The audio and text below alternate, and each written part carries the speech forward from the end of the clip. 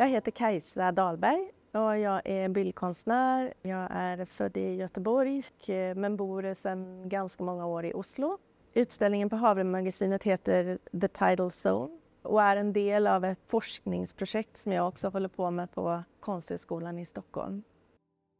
Denna utställningen är en del av detta pågående forskningsprojektet som jag har hållit på med nu sedan 2016.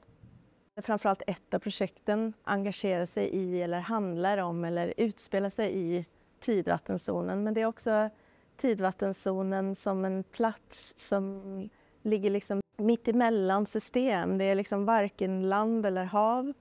Det är ett sorts eh, plats som på något sätt gör motstånd mot den här idén om att vara en sak.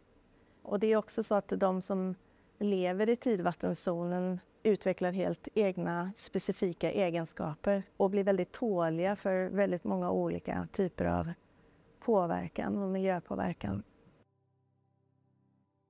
Och en av filmerna just handlar om tidvattenzonen.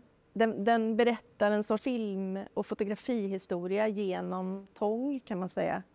Och hur eh, det finns en sorts historisk sammankoppling mellan tång och film.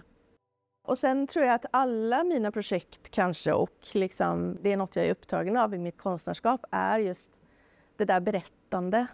Att filmerna är ganska liksom direkta på ett sätt och, och handlar ganska mycket om berättande. Och de är ganska förhållandevis långa men tar dig liksom igenom ett berättande och de alla är också loopar så de har egentligen ingen början och slut utan de är det här pågående berättandet kan man säga.